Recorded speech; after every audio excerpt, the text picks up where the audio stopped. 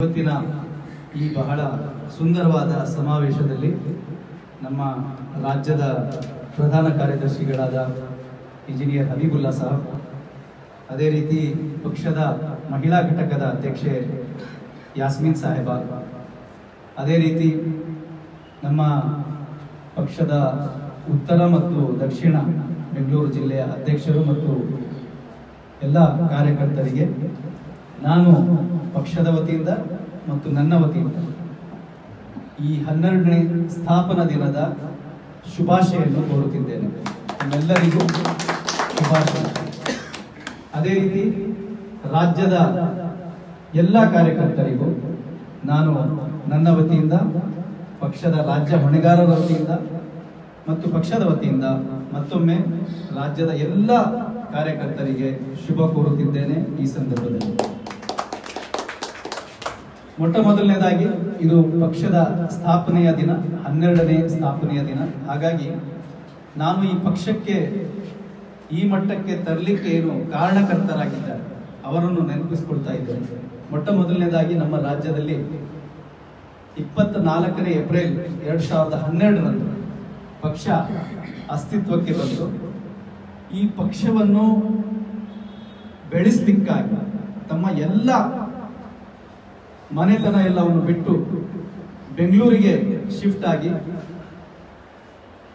ಸನ್ಮಾನ್ಯ ಅಕ್ಬರ್ ಅಲಿ ಸಾಬ್ ಬಹಳಷ್ಟು ಶ್ರಮ ಪಟ್ಟರು ಮೊದಲ ಮೊದಲ ರಾಜ್ಯಾಧ್ಯಕ್ಷರು ನಮ್ಮ ಕರ್ನಾಟಕಕ್ಕೆ ಮೊದಲ ರಾಜ್ಯಾಧ್ಯಕ್ಷರು ಅವರು ಈ ಪಕ್ಷವನ್ನು ಬೆಳೆಸಲಿಕ್ಕಾಗಿ ಅಂತ ಕಠಿಣ ಸಂದರ್ಭಗಳಲ್ಲಿ ಬಹಳ ಶ್ರಮಪಟ್ಟು ಈ ಪಕ್ಷವನ್ನು ಬೆಳೆಸಿದ್ದಾರೆ. ಈ ಸಂದರ್ಭದಲ್ಲಿ ಅವರಿಗೂ ಕೂಡ ನಾನು ನೆನಪಿಸಿಕೊಳ್ತಾ ಇದ್ದೇನೆ. ಅದೇ ರೀತಿ ಬಿ ಟಿ ಲಲಿತಾ ನಾಯಕ್ ಅವರು. ನಮ್ಮ ರಾಜ್ಯದ ಎರಡನೇ ರಾಜ್ಯಾಧ್ಯಕ್ಷೆಯಾಗಿ ಅವರು ಬಹಳಷ್ಟು ಅವರ ಪಕ್ಷಕ್ಕೆ ಅವರ ವ್ಯಕ್ತಿತ್ವದ ವರ್ಚಸ್ಸೇನಿದೆ ಅದನ್ನು ಒಂದು ಕೊಡುಗೆಯಾಗಿ ಕೊಟ್ಟರು. ಅವರ ವ್ಯಕ್ತಿತ್ವದಿಂದ ನಮ್ಮ ಪಕ್ಷಕ್ಕೆ ಇನ್ನಷ್ಟು ಘನತೆ ಬಂದಿದೆ. ಅವರು ಕೂಡ ನಮ್ಮ ಪಕ್ಷಕ್ಕೆ ಅಪಾರವಾದ ಕೊಡುಗೆಯನ್ನು ಕೊಟ್ಟಿದ್ದಾರೆ. ಅವರಿಗೂ ಕೂಡ ನಾನು ಧನ್ಯವಾದವನ್ನು ಕೂಡ ಈ ಸಂದರ್ಭದಲ್ಲಿ ಅದೇ ರೀತಿ ಮೂರನೇದಾಗಿ ಹಿರಿಯ ಮುತ್ಸದ್ದಿ ಅಬ್ದುಲ್ ಹಮೀದ್ ಫಾರಾನ್ ಸಾಬ್. ಅವರು ಕೂಡ ಒಂದು ಸೀಸನ್ ಪೊಲಿಟಿಷಿಯನ್ ಅಂತ ಹೇಳ್ತೀವಿ ನಾವು.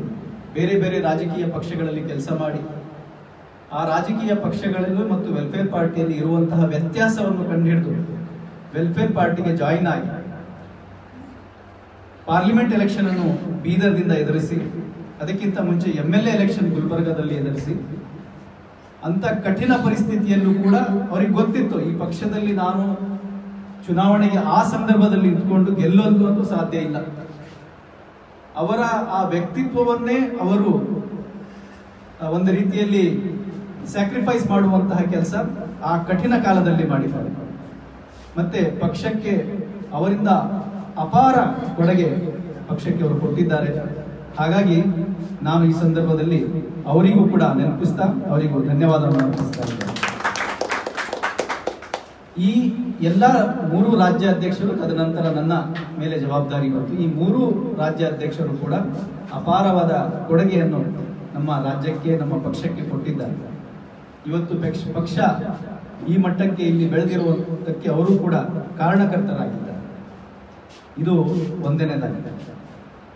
ಎರಡನೇದಾಗಿ, ತಮ್ಮೆಲ್ಲರಿಗೂ ಗೊತ್ತಿರುವ ಹಾಗೆ ನಾನು ನೆನಪು ಮಾಡಿಸ್ತಾ ಇದ್ದೀನಿ. ತಮಗೂ ಇಲ್ಲಿ ನೆರೆದಿರುವಂತಹ ನಮ್ಮ ಕಾರ್ಯಕರ್ತರಿಗೂ ಮತ್ತು ರಾಜ್ಯದ ಎಲ್ಲ ಕಾರ್ಯಕರ್ತರಿಗೂ ನೆನಪಿಸ್ ಮಾಡ್ತಾ ಇದ್ದೇನೆ.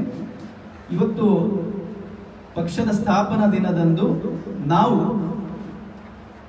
ನಮ್ಮ ಆದಾಯದ ಒಂದು ಭಾಗ, ಇವತ್ತಿನ ಒಂದು ದಿನದ ಆದಾಯ ಪಕ್ಷಕ್ಕೆ ಕೊಡಬೇಕು ಅಂತ ಇವತ್ತು ನಿರ್ಧಾರ ಮಾಡಿದ್ದೇವೆ. ಹಾಗಾಗಿ ಪಕ್ಷದ ಎಲ್ಲ ಕಾರ್ಯಕರ್ತರು ತಪ್ಪದೆ ಆ ಕೊಡುಗೆಯನ್ನು ಇವತ್ತಿನ ದಿನ ಕೊಡಬೇಕು. ಅದು ನೀವು ಕೊಡ್ತಾ ಇರುವಂತಹ ದುಡ್ಡು ಎಷ್ಟು, ಏನು, ಅದು ಮಹತ್ವ ಅಲ್ಲ. ಇದು ಯಾಕೆ ಇವತ್ತಿನ ದಿವಸ ಇದು ಇಟ್ಟಿದ್ದಾರೆ ಅಂದರೆ, ಪಕ್ಷದ ಜೊತೆ ನನ್ನ ಸಂಬಂಧ ಏನಿದೆ? ಪಕ್ಷದ ಜೊತೆ ನಮ್ಮ ಬೆಳೆ, ನಮ್ಮ ಸ್ಯಾಕ್ರಿಫೈಸ್ ಕೊಡುವಂತಹ ಭಾವನೆ ನಮ್ಮಲ್ಲಿ ಎಷ್ಟಿದೆ ಅನ್ನುವಂಥದ್ದು ನಾವು ಇವತ್ತು ತೋರಿಸುವಂತಹ ಒಂದು ಅವಕಾಶ ಇದೆ. ಹಾಗಾಗಿ ನನ್ನ ಆದಾಯ ಎಷ್ಟೇ ಇರಲಿ ಆ ಆದಾಯದ ಒಂದು ದಿನದ ಆದಾಯ ಹಮಾರೆ जो कमाई है उसके एक दिन का इनकम आज हमने पार्टी को देने का अहद किया है तो वो अहद को हमें पूरा करना है वो हो सकता है किसी का सौ रुपये हो पूरे महीने के अगर डिवाइड करते हैं तो दिन में सौ रुपये आते हैं तो वो सौ रुपये आज दे- देगा अगर किसी के हजार रुपये आते हैं हजार रुपये देगा ये इंपॉर्टेंट नहीं है कि कितने पैसे आप दे रहे हैं यहाँ इस दिन को रखने का मकसद ये है कि मेरा पार्टी के साथ क्या अटैचमेंट है क्या ताल्लुक है वक्त आने पर मैं अपनी कमाई भी दे सकता हूँ अपनी सलाहियतें भी दे सकता हूँ जरूरत पड़ने पर अपनी जान भी दे सकता हूँ इसीलिए हमने उसका टाइटल भी दिया है मई पार्टी मई प्राइड ನನ್ನ ಪಕ್ಷ ನನ್ನ ಘನತೆ ಹಾಗಾಗಿ ಇವತ್ತಿನ ದಿನ ತಪ್ಪದೆ ನಮ್ಮ ಎಲ್ಲ ಕಾರ್ಯಕರ್ತರು ಪಕ್ಷಕ್ಕೆ ಆ ದೇವಣಿಗೆಯನ್ನು ಕೊಡಬೇಕು ಅಂತ ನಾನು ಕೇಳ್ಕೊಳ್ತಾ ಇದ್ದೇನೆ ಇನ್ನು ಸ್ನೇಹಿತರೆ, ಹನ್ನೆರಡು ವರ್ಷ ನಾವು ಕಳೆದಿದ್ದೇವೆ. ಹನ್ನೊಂದು ವರ್ಷ ಕಳೆದಿದ್ದೇವೆ, ಹನ್ನೆರಡನೇ ವರ್ಷಕ್ಕೆ ಕಾಲಿಡ್ತಾ ಇದ್ದೇವೆ. ಈಗಾಗಲೇ ಪಕ್ಷದ ಆ ದಾರಿಯನ್ನು ನಮ್ಮ ಪ್ರಧಾನ ಕಾರ್ಯದರ್ಶಿಯವರು ನಮ್ಮ ಮುಂದೆ ಇಟ್ಟಿದ್ದಾರೆ. ಎಷ್ಟು ಕಠಿಣ ದಾರಿಯಿಂದ ನಾವು ಬಂದಿದ್ದೇವೆ. ಎಂತೆಂಥ ಪರಿಸ್ಥಿತಿಗಳು ಬಂತು. ನಮ್ಮಲ್ಲಿ ಬಂದಿರುವಂತಹ ನಮ್ಮ ಹಲವಾರು ನೇತಾರರು ಮತ್ತು ಕಾರ್ಯಕರ್ತರು ಈ ದಾರಿಯಲ್ಲಿ ನಮಗೆ ಹೋಗ್ಲಿಕ್ಕೆ ಆಗೋದಿಲ್ಲ ಅನ್ನುವಂತಹ ಒಂದು ಪರಿಸ್ಥಿತಿಯನ್ನು ಬಂದು ಅವರು ವಾಪಸ್ ಹೋಗುವಂತಹ ಸಂದರ್ಭದಲ್ಲೂ ಸಂದರ್ಭದಲ್ಲೂ ಕೂಡ ನಮಗೆ ಬಂತು. ಆದರೂ ಕೂಡ ಪಕ್ಷ ಇವತ್ತು ಎಷ್ಟು ಮಟ್ಟಿಗೆ ಬೆಳೆದಿದೆ ಅಂದ್ರೆ ರಾಜ್ಯದಲ್ಲಿ ಹಲವಾರು ರಾಜಕೀಯ ಪಕ್ಷಗಳ ಹೆಸರು ಬಂದಾಗ ನಮ್ಮ ಪಕ್ಷವನ್ನು ಗೌರವದಿಂದ ನೆನಪಿಸಿ ಒಂದು ಮುಂದಿನ ದಿನಗಳಲ್ಲಿ ಪರ್ಯಾಯ ರಾಜಕೀಯ ಪಕ್ಷವಾಗಿ ಹೊರಹೊಮ್ಮುತ್ತಿದೆ ಅಂತ ಜನ ಇವತ್ತು ಪರಿಗಣಿಸ್ತಾ ಇದ್ದಾರೆ. ಆ ಮಟ್ಟಕ್ಕೆ ಇವತ್ತು ನಮ್ಮ ಪಕ್ಷ ಬೆಳೆದಿದೆ. ಇದರಲ್ಲಿ ಮೊಟ್ಟ ಮೊದಲನೇದಾಗಿ ಕೊಡುಗೆ ಇರುವಂಥದ್ದು ನಮ್ಮ ಕಾರ್ಯಕರ್ತರು. ನಮ್ಮ ಕಾರ್ಯಕರ್ತರು ಎಷ್ಟು ಶ್ರಮ ಪಟ್ಟಿದ್ದಾರೆ ಅಷ್ಟು ಪಕ್ಷಕ್ಕೆ ಹೆಸರು ಬರ್ತಾ ಇದೆ. ಇದು ಕೇವಲ ಇಲ್ಲಿ ರಾಜ್ಯಾಧ್ಯಕ್ಷರು, ರಾಜ್ಯ ಪ್ರಧಾನ ಕಾರ್ಯದರ್ಶಿ ಇಲ್ಲಿ ಕುತ್ಕೊಂಡು ಏನೋ ಒಂದು ಭಾಷಣ ಮಾಡಿದ್ರು, ಒಂದು ಪತ್ರಿಕಾ ಹೇಳಿಕೆ ಕೊಟ್ಟಿದ್ರು. ಅದರಿಂದ ಈ ಪಕ್ಷ ಬೆಳೆದಿರುವಂಥದ್ದು ಅಷ್ಟೇ ಅಲ್ಲ.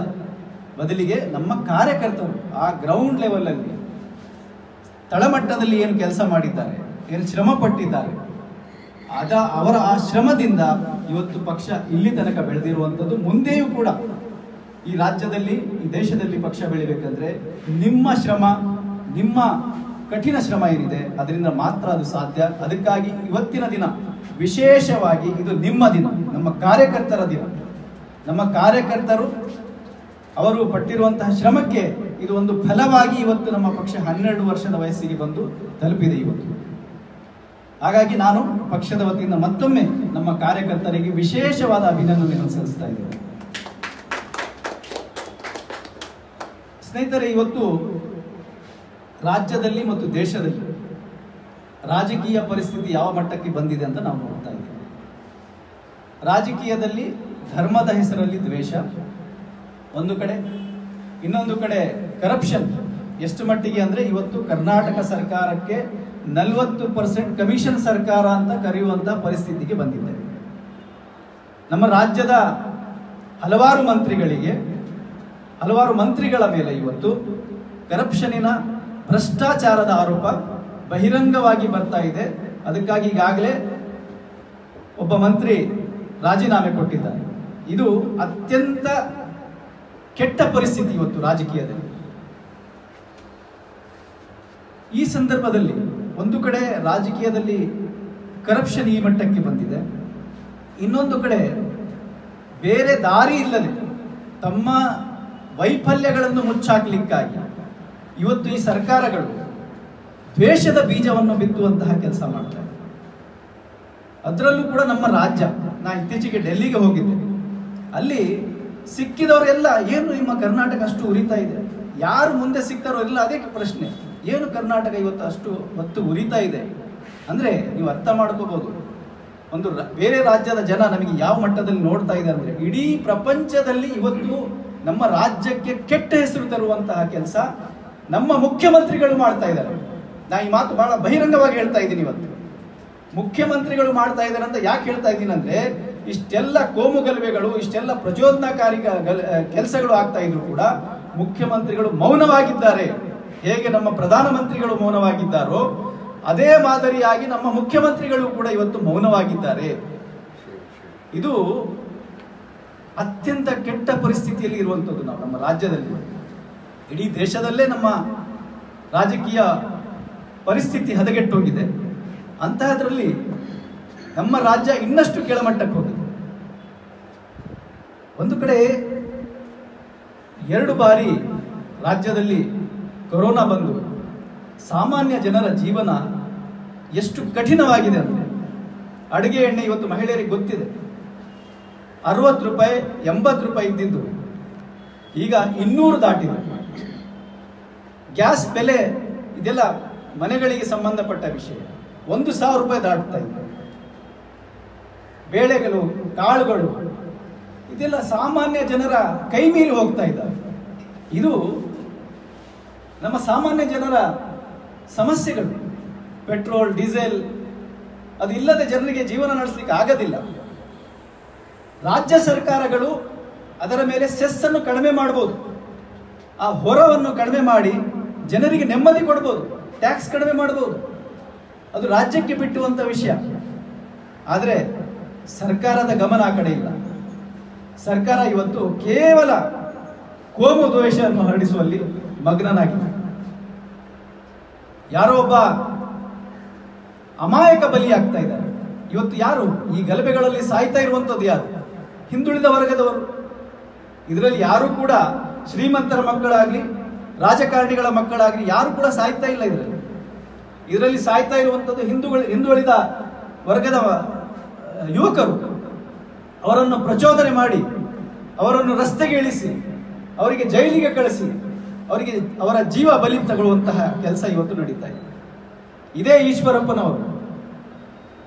ಹರೀಶ್ ಎಂಬ ಯುವಕನ ಕೊಲೆ ಆದಾಗ ಅದು ಇನ್ನೂ ಕೂಡ ತನಿಖೆಯೂ ಕೂಡ ಆಗಿಲ್ಲ.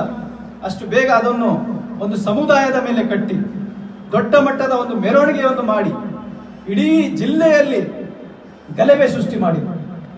ಈಗ ಅದೇ ಈಶ್ವರಪ್ಪರಿಂದ ಇನ್ನೊಂದು ಹಿಂದೂ ಕಾರ್ಯಕರ್ತ ಸಂತೋಷ್ ಪಾಟೀಲ್ ಎಂಬವರು ಆತ್ಮಹತ್ಯೆ ಮಾಡಿಕೊಂಡಿದ್ದಾರೆ. ಅದು ಆತ್ಮಹತ್ಯೆ ಅಲ್ಲ ಅದು. ಅದು ಹತ್ಯೆ ಆಗಿರುವಂಥದ್ದು. ಅವರು ನಲವತ್ತು ಪರ್ಸೆಂಟ್ ಕಮಿಷನಿನ ಆರೋಪ ಹೊರಿಸಿದ್ರು ಈಶ್ವರಪ್ಪ, ಈಶ್ವರಪ್ಪನವರ ಮೇಲೆ. ಸಾಯೋಕ್ಕಿಂತ ಮುಂಚೆಯೂ ಕೂಡ ಅವರು ಬರ್ದಿ, ಬರೆದಿದ್ದಾರೆ. ನನ್ನ ಸಾವಿಗೆ ಕಾರಣ ಈಶ್ವರಪ್ಪನವರ ಕಿರುಕುಳ ಅಂತ. ಆ ಸತ್ತಿರುವಂತಹ ವ್ಯಕ್ತಿ ಕೂಡ ಹಿಂದೂ ಕಾರ್ಯಕರ್ತ ಬಿಜೆಪಿಗೆ ಸೇರಿದ ಕಾರ್ಯಕರ್ತ, ಆದ್ರೆ ಅವನ ಬಗ್ಗೆ ಆ ಕಾಳಜಿ ತೋರಿಸ್ತಾ ಇಲ್ಲ ಈಶ್ವರಪ್ಪ ಆಗಲಿ ಅಥವಾ ಬಿಜೆಪಿ ಆಗಲಿ, ಯಾರು ಕೂಡ ಅವನ ಬಗ್ಗೆ ಯಾವುದೇ ರೀತಿಯ ಕಾಳಜಿ ತೋರಿಸ್ತಾ ಇಲ್ಲ. ಯಾಕೆ? ಅದರಿಂದ ಯಾವುದೇ ರೀತಿಯ ರಾಜಕೀಯ ಲಾಭ ಅವರಿಗೆ ಆಗ್ತಾ ಇಲ್ಲ. ಬದಲಿಗೆ ರಾಜಕೀಯವಾಗಿ ಅವರಿಗೆ ನೆಲಸಮ ಆಗ್ತಾ ಇದ್ದಾರೆ ಅವರು. ಇದು ಇವತ್ತಿನ ನಮ್ಮ ದೇಶದ ಮತ್ತು ರಾಜಕೀಯ ರಾಜ್ಯದಲ್ಲಿ ರಾಜಕೀಯ ಪರಿಸ್ಥಿತಿ. ಅಂದ್ರೆ ರಾಜಕೀಯ ಒಂದು ಕಡೆ ಕಮಿಷನ್ ಒಂದು ಕಡೆ ಕಮ್ಯುನಲಿಸಂ ಒಂದು ಕಡೆ ಕ್ರಿಮಿನಲಿಸಂ ಈ ರೀತಿ ಹಲವಾರು ಸಮಸ್ಯೆಗಳ ಮಧ್ಯೆ ಸಿಲುಕಿ ಒದ್ದಾಡ್ತಾ ಇದೆ ರಾಜಕೀಯ ಇವತ್ತು. ಇಂತಹ ಪರಿಸ್ಥಿತಿಯಲ್ಲಿ ಒಂದು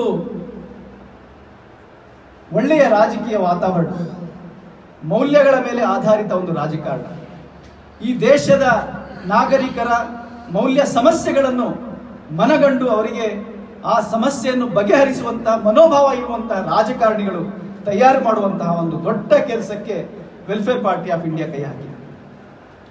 ನಾವು ಈ ದೇಶದ ಜನರಿಗೆ ಒಂದು ಭರವಸೆ ಮೂಡಿಸುವಂತಹ ಕೆಲಸ ಮಾಡ್ತಾ ಇದ್ದೀವಿ. ರಾಜಕೀಯದಿಂದ ನಿರಾಸೆಗೊಂಡಿರುವಂತಹ ಈ ಜನರಿಗೆ ಇಲ್ಲ ನಿರಾಸೆಗೊಳ್ಳುವಂತಹ ಅಗತ್ಯ ಇಲ್ಲ. ಈ ದೇಶದಲ್ಲಿ ಇನ್ನೂ ಕೂಡ ಒಳ್ಳೆ ಜನ ಇದ್ದಾರೆ. ಈ ದೇಶದಲ್ಲಿ ಇನ್ನೂ ಕೂಡ ಒಳ್ಳೆ ರಾಜಕೀಯ ವ್ಯಕ್ತಿಗಳು ಇದ್ದಾರೆ. ಜನರಿಗಾಗಿ ಸೇವೆ ಮಾಡುವಂತಹ ಭಕ್ತಿ ವ್ಯಕ್ತಿಗಳು ಇವತ್ತು ಕೂಡ ಸಮಾಜದಲ್ಲಿ ನಿಮಗೆ ಸಿಗುತ್ತಾರೆ. ಅಂತಹ ವ್ಯಕ್ತಿಗಳನ್ನು ಸೇರಿಸಿ, ಒಗ್ಗೂಡಿಸಿ ಈ ಕಲುಷಿತ ರಾಜಕೀಯವನ್ನು ಸರಿಪಡಿಸುವಂತಹ ಒಂದು ಗುರಿಯನ್ನು ಹೊತ್ತುಕೊಂಡು ಇವತ್ತು ವೆಲ್ಫೇರ್ ಪಾರ್ಟಿ ಆಫ್ ಇಂಡಿಯಾ ಈ ದೇಶದಲ್ಲಿ ಹೋರಾಡ್ತಾ ಇದೆ, ಕೆಲಸ ಮಾಡ್ತಾ ಇದೆ. ಆದರೆ ಇದು ಯಶಸ್ವಿ ಆಗ್ಬೇಕು. ಯಾಕಂದ್ರೆ ನಾನು ಅವಾಗವಾಗ ಹೇಳ್ತಾ ಇರ್ತೇನೆ, ನಾವು ಮಾಡ್ತಾ ಇರುವಂತಹ ಕೆಲಸ ಸಮುದ್ರದಲ್ಲಿ ಒಂದು ಆಪೋಸಿಟ್ ಡೈರೆಕ್ಷನ್ ಅಲ್ಲಿ ನಾವು ಈಜಾಡೋದಂಗೆ. ಹೇಗೆ? ಆಪೋಸಿಟ್ ಡೈರೆಕ್ಷನ್ ಅಲ್ಲಿ ಸ್ವಿಮ್ ಮಾಡಿದಾಗ ಅಲ್ಲಿ ಬರುವಂತಹ ದೊಡ್ಡ ದೊಡ್ಡ ಅಲೆಗಳು ನಮ್ಮನ್ನು ತಡೆಯುವಂತಹ ಪ್ರಯತ್ನ ಮಾಡ್ತಿದ್ದಾವೆ, ಮಾಡ್ತವೆ. ಅದೇ ರೀತಿ ಈ ರಾಜಕೀಯ, ಇವತ್ತಿನ ಕಲುಷಿತ ರಾಜಕೀಯ ವಾತಾವರಣದಲ್ಲಿ ನಾವೊಂದು ಮೌಲ್ಯಗಳ ಆಧಾರಿತ ರಾಜಕೀಯ, ಸೇವೆಗಳ ಆಧಾರಿತ ರಾಜಕೀಯ, ಪ್ರಾಮಾಣಿಕ ರಾಜಕೀಯ ಮಾಡ್ತೀವಿ ಅಂತ ಹೇಳಿ ಪ್ರಯತ್ನ ನಡೆಸ್ತಾ ಇದ್ದೇವೆ ಆ ಪ್ರಯತ್ನ ಅಷ್ಟು ಕಠಿಣವಾದದ್ದು ಈ ಪ್ರಯತ್ನ ನಿಜವಾದ ಅರ್ಥದಲ್ಲಿ ಸಕ್ರಿಯಗೊಳ್ಬೇಕಂದ್ರೆ ಇದು ಕೇವಲ ನಮ್ಮಿಂದ ಸಾಧ್ಯ. ಇದಕ್ಕೆ ಈ ದೇಶದ ನಾಗರಿಕರು, ಈ ದೇಶದ ಮತದಾರರು, ಅವರು ನಮಗೆ ಸಾಥ್ ನೀಡಿದರೆ ಮಾತ್ರ ಈ ಕಠಿಣವಾದ ಕೆಲಸ ನಾವು ಯಶಸ್ವಿಯಾಗಿ ಮಾಡಲಿಕ್ಕೆ ಸಾಧ್ಯ. ನೀವು ನೋಡ್ತಾ ಇದ್ದೀರಾ, ನೀವು ನಿರಾಸೆಗೊಳ್ತಾ ಇದ್ದೀರಾ, ರಾಜಕೀಯ ವ್ಯವಸ್ಥೆಯಿಂದ ಬೇಸರಗೊಂಡಿದ್ದೀರಾ, ಆದರೆ ನೀವು ಬಯಸ್ತಾ ಇದ್ದೀರಾ, ಈ ಕಲುಷಿತ ರಾಜಕೀಯ ವಾತಾವರಣ ಸರಿಗೊಳಿಸಬೇಕು, ಸರಿಪಡಿಸಬೇಕು, ನಮ್ಮ ಸಮಸ್ಯೆಗಳನ್ನು ಕೇಳುವಂತಹ ರಾಜಕಾರಣಿಗಳು ಬರಬೇಕು, ನಮ್ಮ ಸಮಸ್ಯೆಗಳನ್ನು ಬಗೆಹರಿಸಬೇಕು, ಅದರ ಕಡೆ ನೀವು ನೀವು ಕಣ್ಣಾರಿಸ್ತಾ ಇದ್ದೀರಾ, ಅದರ ಕಡೆ ಯೋಚನೆ ಮಾಡ್ತಾ ಇದ್ದೀರಾ ಅದರಿಂದ ಕೇವಲ ಯೋಚನೆ ಮಾಡೋದ್ರಿಂದ ಸಾಧ್ಯ ಇಲ್ಲ. ನೀವು ಬನ್ನಿ, ಕೈ ಜೋಡಿಸಿ, ನಮ್ಮನ್ನು ಗಟ್ಟಿಗೊಳಿಸಿ. ನಾವು ಈ ದೇಶದ ಏನು ಒಂದು ಪರಿಸ್ಥಿತಿ ಇದೆ, ಅದನ್ನು ಖಂಡಿತವಾಗಿಯೂ ನಿಮ್ಮ ಸಹಕಾರದಿಂದ ಬದಲಾಯಿಸಲಿಕ್ಕೆ ಸಾಧ್ಯತೆ ಇದೆ ಅಂತ ನಾನು ಇವತ್ತು ವಾಗ್ದಾನ ನಿಮಗೆ ಕೊಡ್ತಾ ಇದ್ದೇನೆ. ಹಾಗಾಗಿ, ಸ್ನೇಹಿತರೆ, ಇವತ್ತಿನ ಈ ಶುಭ ಸಂದರ್ಭದಲ್ಲಿ ನಾನು ನಮ್ಮ ರಾಜ್ಯದ ಎಲ್ಲ ಕಾರ್ಯಕರ್ತರಿಗೆ ಹೇಳುವಂಥದ್ದು. ಇದು ಬಹಳ ಕಠಿಣ ಸಮ, ಸಮಯ ಬಂದಿದೆ. ನಾವು ನಮ್ಮ ಶ್ರಮ ಪಡುವಂತಹ ಏನು ವೇಗ ಇದೆ. ಅದನ್ನು ಇನ್ನ, ಇನ್ನಷ್ಟು ಹೆಚ್ಚಿಸಬೇಕಾಗಿದೆ. ಇನ್ನಷ್ಟು ನಾವು ಬಲಿದಾನಗಳು ಕೊಡಬೇಕಾಗಿದೆ. ಇನ್ನಷ್ಟು ನಮ್ಮಲ್ಲಿ ಇರುವಂತಹ ಪ್ರತಿಭೆಗಳನ್ನು ಈ ಜನರಿಗಾಗಿ ಹೊರತರಬೇಕಾಗಿದೆ. ಆವಾಗ ಮಾತ್ರ ಇವತ್ತಿನ ಈ ಪರಿಸ್ಥಿತಿಯನ್ನು ನಾವು ತಿಳಿಗೊಳಿಸಲಿಕ್ಕೆ ಸಾಧ್ಯತೆ. ನಮ್ಮ ಜನ ನಮ್ಮ ಕಡೆ ನೋಡ್ತಾ ಇದ್ದಾರೆ. ಜನ ನಮ್ಮ ಕಡೆ ಒಂದು ಆಶಾಭಾವನೆಯಿಂದ ನೋಡ್ತಾ ಇದ್ದಾರೆ. ಹಾಗಾಗಿ ಅವರ ಆ ಆಶೆಗಳನ್ನು ಪೂರ್ಣಗೊಳ್ಳಬೇಕಂದ್ರೆ ನಾವು ಇವತ್ತು ಆ ಜನರಿಗಾಗಿ ಇನ್ನೂ ಹೆಚ್ಚು ಕೆಲಸ ಮಾಡಬೇಕಾಗಿದೆ, ಇನ್ನೂ ಹೆಚ್ಚು ಶ್ರಮ ಪಡಬೇಕಾಗಿದೆ. ನಮ್ಮ ಮನೆಗಳಿಂದ, ಕಚೇರಿಗಳಿಂದ ಹೊರಬಂದು ತಳಮಟ್ಟದಲ್ಲಿ ಜನರ ಸಮಸ್ಯೆಗಳು ನಾನು ನಾನು ಒಂದು ಪದೇ ಪದೇ ಒಂದು ಎಕ್ಸಾಂಪಲ್ ಹೇಳ್ತಾ ಇರ್ತೇನೆ. ಲಾಕ್ಡೌನ್ ಸಂದರ್ಭದಲ್ಲಿ ಬೇರೆ ಬೇರೆ ಕ್ಷೇತ್ರದಲ್ಲಿ ಎಷ್ಟು ಜನ ಇವತ್ತು ಸಮಸ್ಯೆಗಳಿಗೆ ಒಳಗಾಗಿದ್ದಾರೆ. ಸರ್ಕಾರಗಳು ಅವರ ಬಗ್ಗೆ ಏನು ಯೋಚನೆ ಮಾಡ್ತಾ ಇಲ್ಲ. ಆಶಾ ಕಾರ್ಯಕರ್ತರಿದ್ದಾರೆ, ಅಂಗನವಾಡಿ ಕಾರ್ಯಕರ್ತರಿದ್ದಾರೆ, ಬಿಬಿಎಂಪಿ ಕಾರ್ಯಕರ್ತರಿದ್ದಾರೆ, ಸುಮಾರಷ್ಟು ಕಾರ್ಯಕರ್ತರಿದ್ದಾರೆ. ಅದೇ ರೀತಿ ನಾವೊಂದು ಕೇಸ್ಗಳನ್ನು ನಾವು ತಗೊಂಡಿದ್ದೀವಿ ನಮ್ಮ ಕಾರ್ಯಕರ್ತರಿಗೆ ಗೊತ್ತಿದೆ ಅದು. ಸರ್ಕಾರಿ ಏನು ವಾಹನ ಚಾಲಕರು ಮತ್ತು ನಿರ್ವಾಹಕರು ಕೋವಿಡ್ನಲ್ಲಿ ಸತ್ತಿರುವಂಥದ್ದು ಅವರಿಗೆ ಇನ್ನೂ ತನಕ ಪರಿಹಾರ ಸಿಗದೇ ಇರುವಂಥದ್ದು ಈ ಸಮಸ್ಯೆಯನ್ನು ನಾನು, ನಾವು ಬಗೆಹರಿಸುವಂತ ಪ್ರಯತ್ನ ಮಾಡ್ತಾ ಇದ್ದೀವಿ. ಇದು ಎಲ್ಲಿಗೆ ಬಂದಿದೆ ಅಂದ್ರೆ ಮತ್ತೆ ನಾವು ಈಗ ಸರ್ಕಾರಕ್ಕೆ ಇತ್ತೀಚೆಗೆ ನಾವು ಮಾಹಿತಿ ಕೇಳಿದಾಗ ಅದೇ ಪರಿಸ್ಥಿತಿ ಇದೆ. ಹನ್ನೊಂದು ಕುಟುಂಬಗಳನ್ನು ಬಿಟ್ಟರೆ ಬೇರೆ ಯಾರಿಗೂ ಕೂಡ ಸರ್ಕಾರ ಇನ್ನೂ ತನಕ ಪರಿಹಾರ ಕೊಟ್ಟಿಲ್ಲ. ಅದಕ್ಕಾಗಿ ನಾವು ಅದನ್ನು ಈಗ ಕೋರ್ಟ್ ಮೆಟ್ಲೆ ಇರ್ತಾ ಇದ್ದೇವೆ. ಈಗೆಲ್ಲ ಈಗಾಗಲೇ ನಾವು ಕೇಸನ್ನು ಒಬ್ಬ ವಕೀಲರ ಕೈಗೆ ಕೊಟ್ಟಿದ್ದೇವೆ. ಒಂದು ವಾರದ ಒಳಗೆ ಹೈಕೋರ್ಟ್ ಅಲ್ಲಿ ಒಂದು ನಾವು ಪಿ ಎಲ್ ಹಾಕ್ತಾ ಇದ್ದೇವೆ. ಸೊ ಈ ರೀತಿ ಇವತ್ತು ಸರ್ಕಾರ ಮಾಡಬೇಕಾಗಿರುವಂತಹ ಕೆಲಸ ಸರ್ಕಾರ ಮಾಡ್ತಾ ಇಲ್ಲ. ಸರ್ಕಾರ ಆ ಕೆಲಸಗಳಿಂದ ತಪ್ಪಿಸಿಕೊಳ್ಳಿಕ್ಕಾಗಿ ಕೋಮು ದ್ವೇಷವನ್ನು ಹರಡಿಸುವಂತಹ ಕೆಲಸ ಮಾಡ್ತಾ ಇದೆ.